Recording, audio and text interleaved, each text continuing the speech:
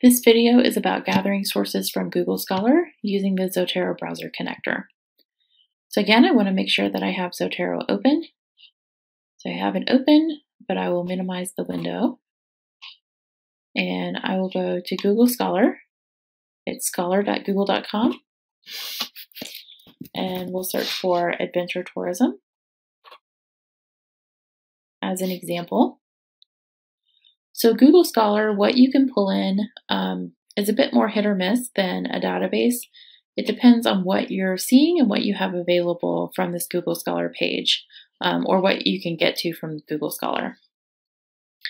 So from here, I have my folder icon and I could pull in whatever citation information, um, PDFs, etc., that I can get from this page all at once. So I might try this book, I might try this, and hit OK. So this book, it says there's full text. That could be the whole book. Um, it could just be a snippet. It's kind of whatever Google Scholar's finding. So I have this article. It tried to pull in the full text. It didn't. So I just have that citation information. So there's a few other ways you can do things too. Um, if you have Google Scholar set up with CSU, which you can find out how to do through libguides.colostate.edu slash Google Scholar. Um, then you'll see find it at CSU and you can see if you can get to the full text of that article or something um, that you're looking at. So if I click find it at CSU from here,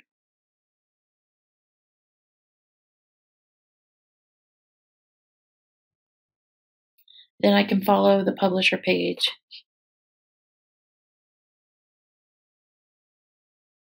And pull in that information from the publisher website where I have that download PDF button, just like I would from a database.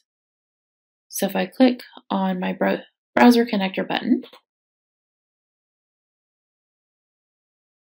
then you'll get the article information in the PDF.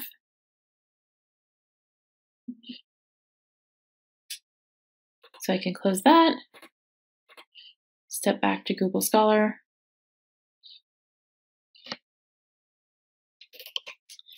We'll find another one.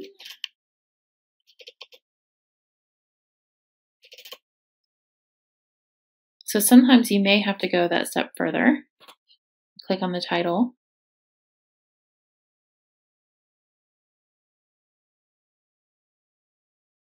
Again, it really depends on what you're finding in Google Scholar and what it's offering. So this one, we could click on that button from here because I have my download PDF option.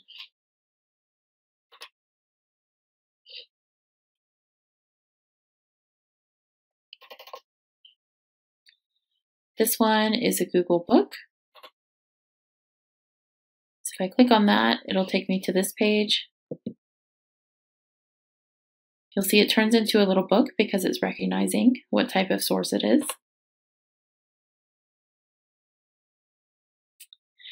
And it gave me a link to this Google book, but it's not going to pull in the whole book because you haven't purchased it. Um, you're just really previewing it. So if we go into Zotero, looks like it got quite a bit of information about the book. Maybe not everything you need for the citation, um, again, it depends on what Google has. But you have some, and you could always fill it in yourself if something is missing.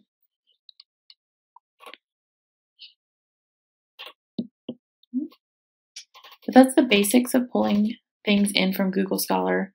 Um, you may just have to click around, find the right place to see if you can pull in a whole PDF or whatever you need um, for each source.